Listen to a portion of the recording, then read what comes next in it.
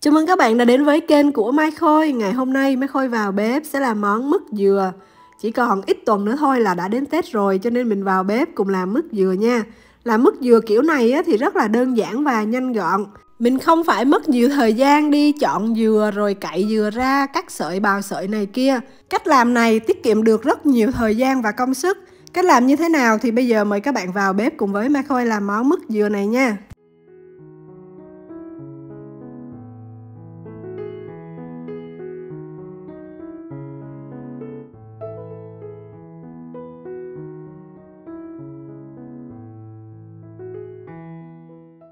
Để làm món mứt dừa thì bắt buộc phải có dừa Nhưng mà để cho nó nhanh gọn lẹ tiết kiệm được thời gian gọi là gõ dừa ngồi cắt dừa bào sợi này kia đó Thì mấy Khôi sẽ sử dụng dừa lon này nha. Với lại là những bạn mà ở nước ngoài á, muốn mua dừa mà gọi là dừa ngon để về làm mứt á, cũng khó mua nữa Cho nên mình cứ mua dừa lon này mấy Khôi thấy rất là tiện. Cái dừa này thì người ta ngâm trong nước siro Nếu mà các bạn đổ cái nước đi chỉ lấy cái phần cái thôi á, là được 190g Ở đây mấy Khôi sẽ dùng hai lon nha rồi bây giờ mình sẽ khui cái dừa này ra để cho các bạn thấy bên trong nè.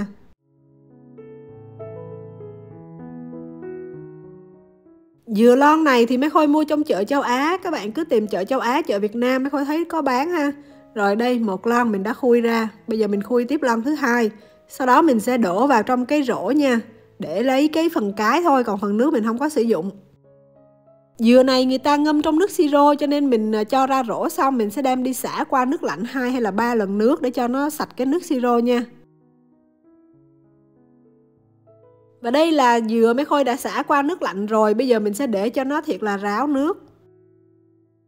Sau khi dừa mình để cho ráo nước thì mấy khôi sẽ cho vào trong một cái chảo này. Mình cho vào đây là 165g đường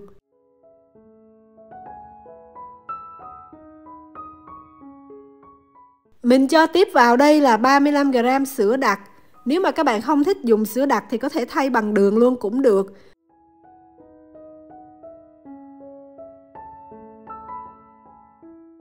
Mình nhẹ nhàng đảo đường với sữa đặc.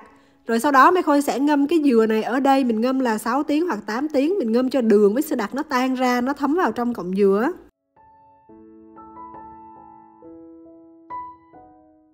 Và sau 6 tiếng mình ngâm cái dừa này thì các bạn thấy đường rồi gì nó đã tan ra hết rồi nè. Đó, bây giờ mấy Khôi sẽ cho nó lên trên bếp để mà mình đi xên mứt nha. Lúc đầu mình sẽ bật lửa lớn một chút xíu nha, mấy Khôi có 9 số thì mình sẽ để số 8 trên số 9. Mình nấu cho cái nồi này nó sôi lên.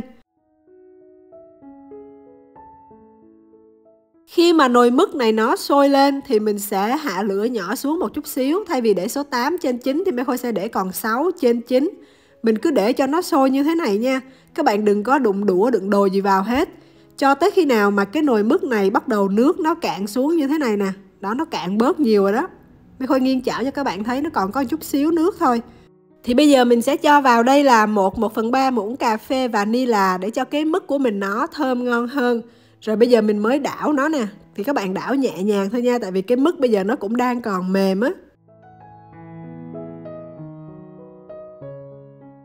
Rồi sau khi đảo đều rồi mình tiếp tục xên nha. Trong lúc xên nếu mà các bạn ngại đảo sợ nó bị gãy mức á, Thì các bạn có thể lắc chảo nhẹ nhàng cũng được Để tránh cho nó bị cháy ở phía dưới cái đáy chảo đó. Đó, còn không thì lâu lâu mình cứ đảo vài vòng để cho nó đều cái mức của mình nha.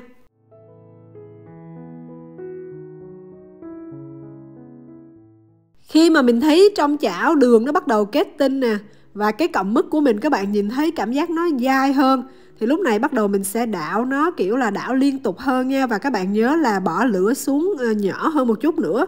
Bây giờ mình đang xên cái mức này là mình để số 3 trên số 9 tại vì nếu mà các bạn để lửa lớn quá đó, thì cái mức nó sẽ dễ bị cháy mà bên trong nó không có kịp khô, thì mình để nó dễ bị ra nước á.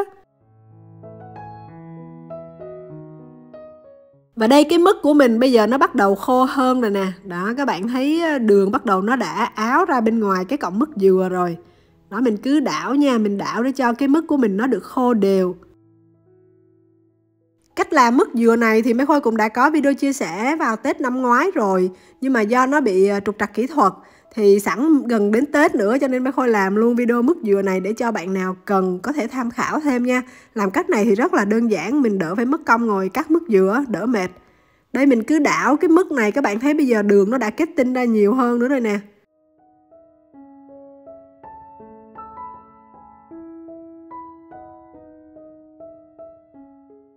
Đây cộng mức dừa mới khôi đảo nãy giờ cho các bạn nhìn gần. Đó. Thì nếu mà bạn nào muốn để mứt dừa này kiểu lâu hơn á, nó không có bị chảy nước á, thì các bạn đảo cho nó khô hơn một chút xíu. Như cái cọng mứt dừa lúc nãy mới khôi mới lấy lên á, là nó vừa mới khô ở bên ngoài một chút thôi. Thì các bạn để khoảng 2-3 ngày là nó sẽ ra nước. Thì đây mình muốn nó để lâu hơn để mà ăn Tết á, đãi khách thì các bạn nên đảo nó khô thêm một chút xíu nữa.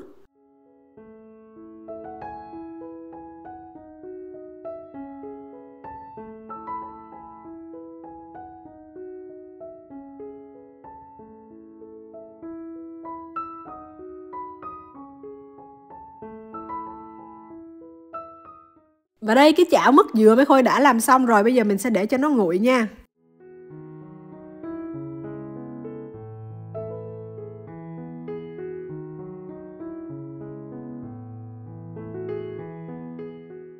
Voila, vậy là món mứt dừa mấy Khôi đã làm xong rồi nè. Làm kiểu này đúng nhanh luôn các bạn, mình chỉ mất thời gian đứng sên mứt thôi, chứ không có bị mất thời gian là phải uh, cắt dừa rồi cậy cái cơm ra xong rồi bào sợi đó cái cọng mứt dừa mà sau khi làm xong thì nó sẽ như thế này nè. Đây là mứt dừa non cho nên khi ăn á thì cái lớp vỏ mứt bên ngoài nó khô nó ngọt ngọt nhưng mà bên trong thì nó mềm mềm dẻo dẻo ăn rất là ngon. Và lượng đường mấy khôi cho vào trong mứt dừa này á thì mình cho cũng không có quá nhiều. Cho nên các bạn thấy là cái lượng đường mà nó kết tinh ở bên ngoài mứt á, nó cũng không có quá nhiều. Và theo khẩu vị của Mai Khôi á thì cái mứt dừa này ăn là cái vị ngọt nó vừa ăn luôn chứ nó không có bị quá ngọt đó mứt dừa các bạn làm xong để thiệt nguội mình có thể cho vào trong cái hũ hoặc là cái túi mình đóng kín lại mình lấy luôn cái phần đường cái tinh của nó luôn nha để lỡ mà các bạn để một thời gian mà nó có bị ra nước á thì mình cho vào trong chảo mình sên lại vào ngày Tết á, nếu mà mình tự tay làm ra món mứt dừa này để mời gia đình bạn bè thưởng thức, ta nói ăn miếng mứt dừa, uống ngụm trà, xong rồi ngồi hàng huyên tâm sự thì còn gì bằng nữa đúng không nè? Thì nếu bạn nào muốn làm món mứt dừa giống Mai Khôi thì vào bếp cùng làm với Mai Khôi nha. Bây giờ thì Mai Khôi xin được kết thúc video ngày hôm nay tại đây. Cảm ơn các bạn rất là nhiều đã bỏ thời gian ra theo dõi cũng như là ủng hộ Mai Khôi. Nếu các bạn thấy thích thì hãy nhấn nút đăng ký kênh cũng như là like, share video và để lại bình luận góp ý cho Mai Khôi ha. Bây giờ thì xin chào và hẹn gặp lại các bạn ở những video tiếp theo. À biên tố.